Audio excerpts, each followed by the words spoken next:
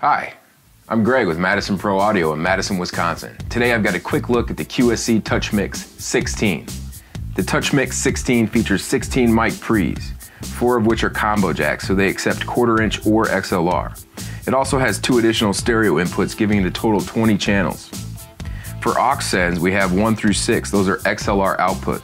We also have two stereo aux outputs, one of which I'm using to go directly to the camera for this broadcast. And we're recording directly to a USB drive.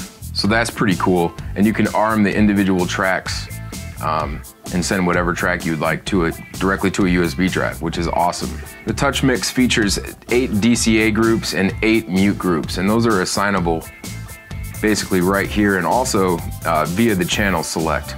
One of the cool things about the Touch Mix mixer is the iPad application. The iPad application looks exactly like the touchscreen interface.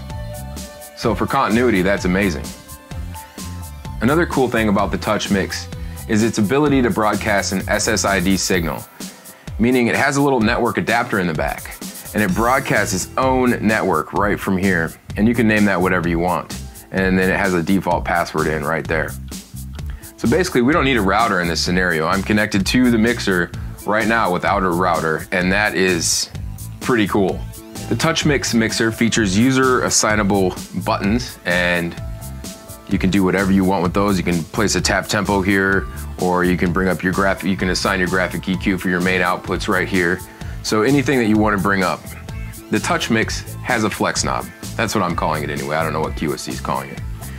So when I select a parameter, I can make adjustments with the knob. So any parameter that's selected on the mixer, I can make adjustments with the knob over here. Now, if I wanna make fine adjustments, all I have to do is press and hold, and then I can make fine adjustments with the flex knob.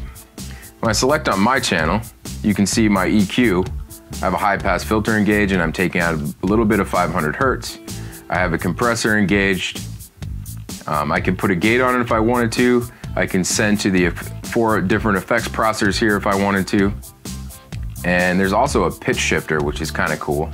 Um, I can send in my aux sends right from this page, and then I can load certain presets. So there is some like vocal presets and things that I can load right here.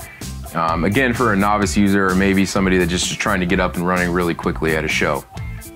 Um, the setup button lets me arm this track and send it to the recording if I'd like, engage phantom power, also add a little digital gain if I need it, and reverse polarity from there.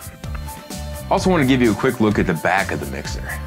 Now the Touch Mix comes with a proprietary power source. Uh, QSC is saying that this is a power source that is common on other computer equipment and can be bought third party.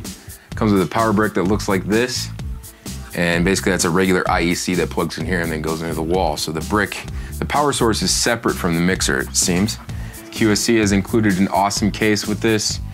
Here's a shot of the inside of the case, and this is a, a hard material, like a hard uh, foam, and it has a spot for the power supply here, and a spot for the mixer, and voila, your 16 channel mixer in a tiny little briefcase for the show, which is uh, extraordinary actually. So um, I love the form factor, I love the mixer, I love the sound quality. I think QSC really has a nice product here. And the fact that you can use this mi mixer with the iPad application um, makes it a really good buy. For all your live audio production, lighting, sales, and installation questions, please visit madisonproaudio.com.